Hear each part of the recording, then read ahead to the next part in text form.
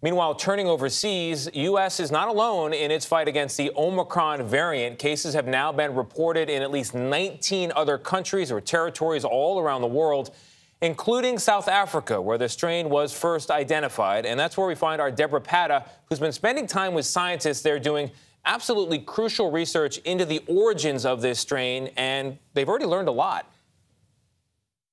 This is ground zero for Omicron.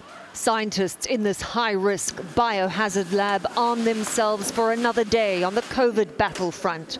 They are hot on the trail of the new mutant strain circling the globe. Zay, I'm coming to give you a cryo box from the freezer. Here, they are growing live Omicron, which will be tested against the blood of fully vaccinated people, as well as those who were previously infected. Heading up this team at the Africa Health Research Institute is virologist Alex Sigal. This is probably the most mutated virus uh, we'd ever seen. The variant has more than 50 mutations, over 30 in the spike protein, making it easier to attach itself to human cells. It's more of a Frankenstein than others, but it's always something new. I mean, the virus keeps surprising us.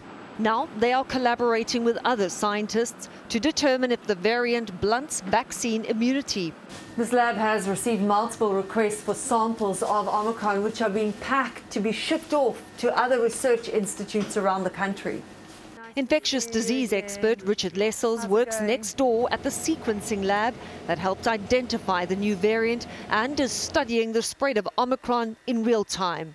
What's critical now over the next week or two is to really see in the data what the pattern is there. Is there an increasing rate of infections in the vaccinated? And what is the severity of disease in, in those individuals?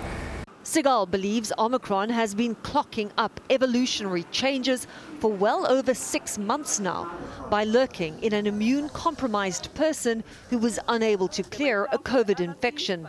He warns as long as Africa lags behind in vaccinations, this won't be the last mutation. We're going to learn together the rest of the Greek alphabet. Unless we understand why these variants evolve, how they evolve, and be able to predict them. There's been an uptick in infections amongst young people in South Africa, but these scientists are confident that existing vaccines will protect against serious illness and hospitalization. They'll have those answers in less than 10 days. Nate? Debora Patta, thank you.